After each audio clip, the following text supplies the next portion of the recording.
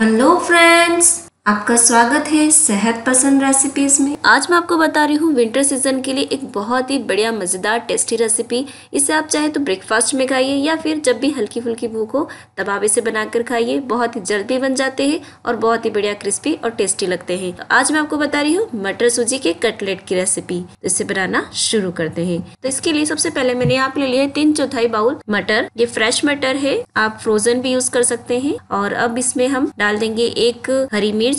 और एक अदरक का टुकड़ा, करीबन ये आधा इंच है। तो अब यहाँ पर इसे हमें ग्राइंड कर लेना है। इसका दर दरा सा हमें पेस्ट बना लेते हैं। ये पिसा गया है। और यहाँ पर मैंने पेन में वन एंड हाफ़ बाउल पानी ले लिया है। पानी को भी गर्म कर लेते हैं। और ये देखिए, पानी में उबाल आ गया है। तो अब इस स्टेज पे हमें पीसे हुए मटर डाल देते हैं। मिक्स कर लेते हैं।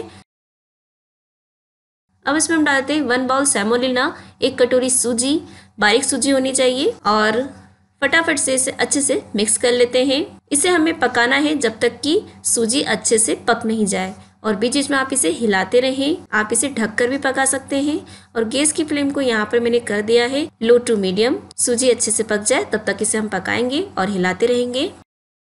और ये देखिए, सूजी यहाँ पर अच्छे से पक गई है। दाना अच्छे से फूल गया है। तो अब गैस को बंद कर देते हैं और इस मिश्रण को प्लेट में निकाल लेते हैं। हल्का से इसे हमें ठंडा करना है। और ये देखिए, यहाँ पर हल्का से ये ठंडा हो गया है तो इसमें अब हम सभी मसाले डाल देते हैं।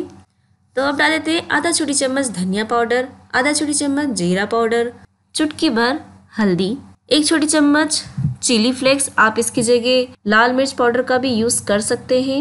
स्वाद अनुसार नमक, आधा छोटी चम्मच तिल, आधा छोटी चम्मच आमचूर पाउडर, एक चौथाई छोटी चम्मच करीबन गरम मसाला और एक से दो बड़ी चम्मच कटा हुआ धनिया डाल देते हैं और एक से दो बड़ी चम्मच कटा हुआ प्याज डाल देंगे। हाथ में थोड़ा सा तेल ले लें और फिर अच्छे से इसको मसलते हुए, इसे मिक्स करते हुए इसका हमें डो तैयार करना है। ये देखिए, डो तैयार हो गया है और अब इसकी हमें कटलेट बनानी है। इस तरीके से हाथ में थोड़ा सा तेल लगा लें, जिससे ये चिपके नहीं। तो थोड़ा सा मिश्रण ले लें, छोटी लोई के बराबर और इसके कटलेट बना लीजिए। चपटे, इसे कर लीजिए गोल करके। इस तरीके से ये गोल आपको शेप देना है और इसी तरीके से हम सभी इसके कटलेट बना लेते हैं अभी।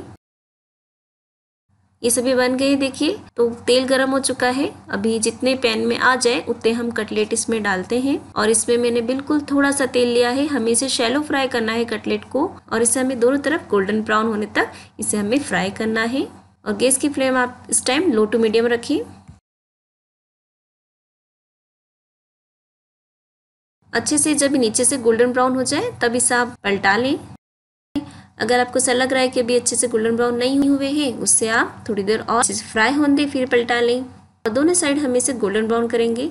इस तरह शेलो फ्राई करने से एक तो ये बहुत ही हेल्दी रहता है, बहुत ही कम ऑयल लगता है, और सूजी का हमने जो यूज़ किया है ना, इससे ये बहुत ही क्रिस्पी बनते हैं, और सूजी हल्की भी रहती है डाइजेशन में अच्छा रहता है, ज़्यादा इससे हमें हैवी नहीं लगता है, बहुत ही हल्का नाश्ता ये तैयार हो जाता है।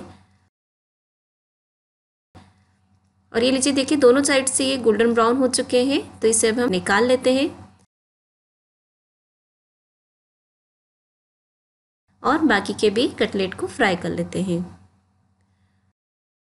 तो ये लीजिए, कटलेट हमारे तैयार हो चुके हैं। और ये देखिए, कितने बढ़िया ये क्रिस्पी बने हैं। तो ये देखिए, बहुत ही बढ़िया क्रिस्पी, टेस्टी हमारी फटाफट बनने वाली रेसिपी तैयार हो चुकी है। बहुत ही बढ़िया ये कटलेट लगते हैं। एक बार आप इसे ज़रूर ट्राई कीजिए। और मेरे चैनल को अगर आपने अभी तक सब्सक्राइब नहीं किया है, जल्दी सब्सक्राइब करें और बेल आइकन पर क्लिक करना बिल्कुल ना भूलें। Thank you